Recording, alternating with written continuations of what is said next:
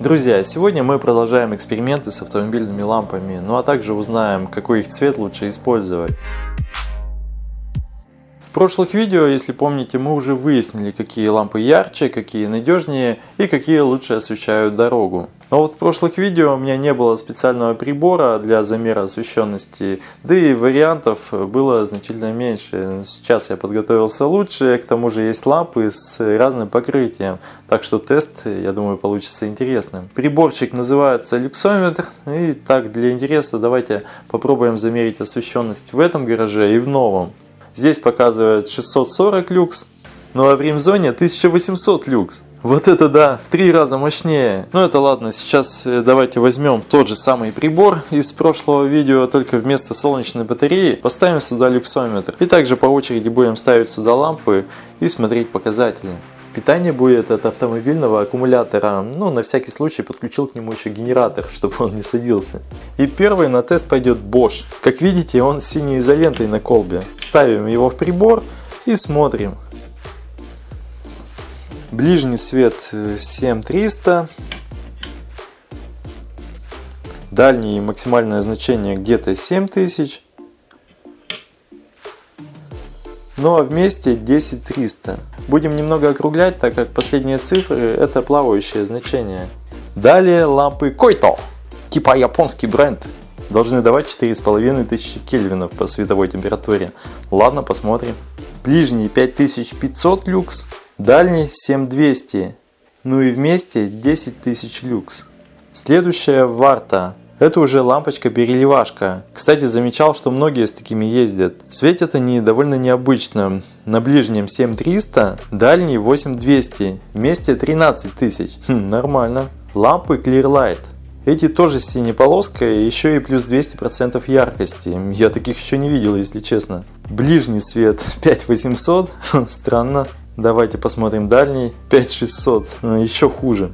Вместе 9200. Да уж, а на упаковке написали плюс 200%. Может они имели в виду минус, хм, хотя ладно. Мощность всех ламп практически одинаковая и совпадает с описанием на коробках, то есть 60 на 55 ватт. Тут я никакого обмана не обнаружил. Сейчас возьмем желтый Osram. Говорят, что на мокром асфальте их лучше всего видно. Это мы, кстати, тоже потом проверим. Ближний 7200, дальний свет 8400, ну и оба 12500. Лампы Фукура если помните, это лидер прошлых состязаний, как по надежности, так и по яркости. Но вот сегодня конкуренты уже посерьезнее, чем в прошлый раз. Да и прибор появился, так что посмотрим, что будет. На ближнем 9200, да ладно. Давайте пробуем дальний. 10600, да как так? Пробуем вместе. 15700, это что-то нереальное. Ладно, идем дальше. Ну а это у нас Philips с зелеными колпачками. Многие, кстати, просили их проверить. Ну так давайте попробуем, для начала просто в стенде. Что? 4600? Серьезно? Это в настоящий момент худший показатель. А вот дальний, как ни странно, лупит уже намного мощнее, а точнее 9000. Вместе 10900. Очень странные лампы. Лампы Narva тоже полностью синие. Однако это уже более бюджетный вариант. Но я не могу понять, как вот эта вот синяя тонировка может добавлять яркость ламп. Это наоборот идет срез определенного спектра. Может быть на белом снегу они и будут казаться ярче, но вот на сыром асфальте мы их скорее всего не увидим. Такой тест, думаю, тоже стоит провести. Давайте пробовать. Ближний 5100, дальний 5700. Вместе 8600. В общем ни о чем. А сейчас для интереса попробуем обычную нарву без тонировки, которая гораздо дешевле. Ближний свет 7200, дальний 7800. Ну вот, я про что и говорил. Пробуем вместе. 12200. Вот так-то. Похоже, что тонированные лампы вообще ни к чему. Далее лампы PIA. Эти уже лишь слегка голубые. И тоже типа плюсовые. Давайте пробовать. Ближний 7600, дальний 8700. Вместе 13 тысяч люкс. Хм, нормально. За одним попробуем голубенький Osram. Это довольно дорогие лампы. Ближний 6600, Дальний 7300. Вместе 9700 люкс. Ну, как-то не особо. Сейчас попробуем супер дешевую лампу луч. Я буду в шоке, если она тут всех уделает.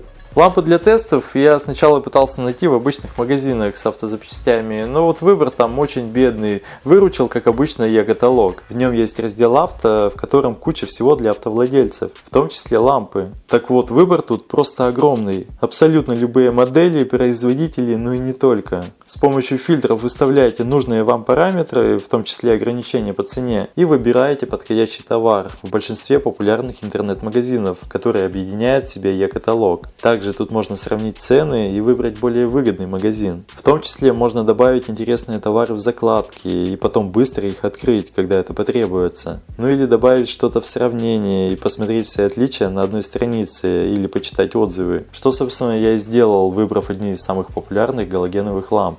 Напишите в комментариях, какие лампы вы используете и какие еще хотели бы видеть в моих тестах. Ну а ссылку на e-каталог, если что, оставлю в описании под видео, чтобы у вас тоже был доступ к большому выбору ламп.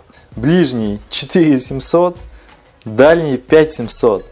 Вместе 6200. Да, чудес все-таки не бывает. Далее ультрамаяк. Многие зрители в прошлом видео просили его проверить, типа он тоже плюсовой. Ближний свет 7000, да ладно, это точно маяк. Дальний 9000, ну а вместе 11300. Ну а в прошлом видео обычный маяк показал себя намного хуже. Еще одна синенькая лампа от компании SKT. Почему-то многие водители очень любят такой голубой огонек.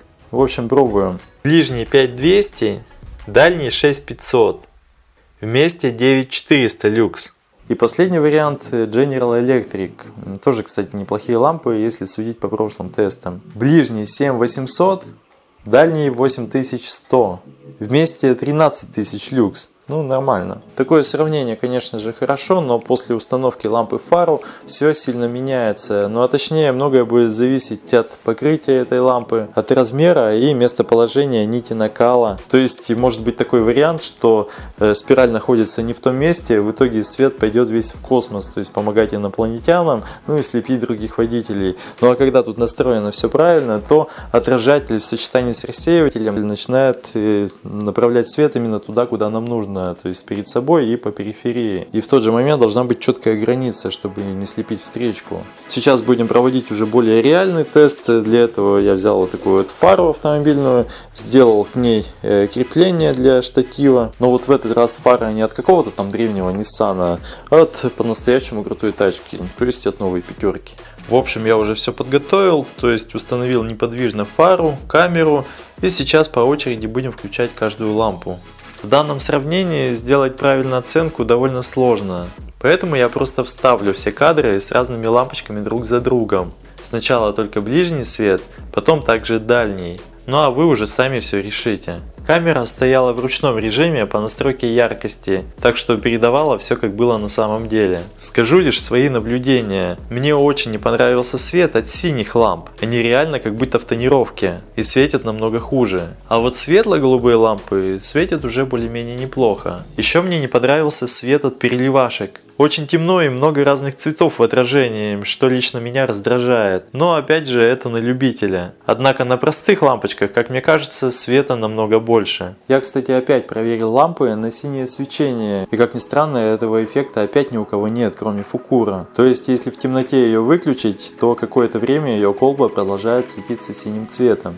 Не знаю, что такое там закачали японцы в эти лампы, но, видимо, из-за этого они и дают такой более приятный белый свет. И в тот же момент э, значительно ярче, потому что у них нет вот такой синей тонировки. Помимо прямого света, стоит проверить яркость фары на периферии. Ведь часто на дорогу выбегают разные дикие животные, в том числе пьяные. То есть от качества ламп зависит то, насколько быстро вы сможете увидеть и оценить опасность на дороге. Сейчас давайте сделаем макет одного из животных. Картон для этого, думаю, подойдет. Вот такой вот у нас получился кабанчик. В идеале его еще нужно покрасить черной краской, чтобы он был менее заметным. О, посмотрите, какой классный рисунок получился на капоте акулины. Но это ладно, ждем темноты и устанавливаем зверя в засаду. Ну давайте оценивать, на каких лампах будет лучше видно дикого зверя. В общем, я все покажу, а вы делайте выводы.